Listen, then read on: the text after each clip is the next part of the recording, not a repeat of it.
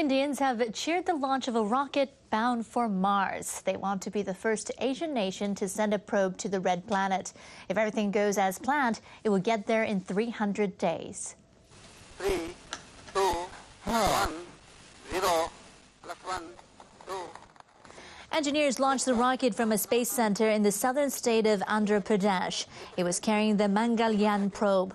Officials with the Indian Space Research Organization expect the rocket will ex exit Earth's gravitational field at the end of the month. It should reach Mars orbit next September.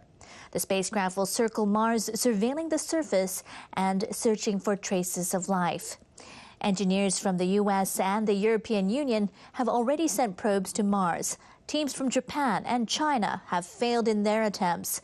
The Indian mission is expected to cost $73 million, a fraction of what NASA will spend to get its next probe to the planet.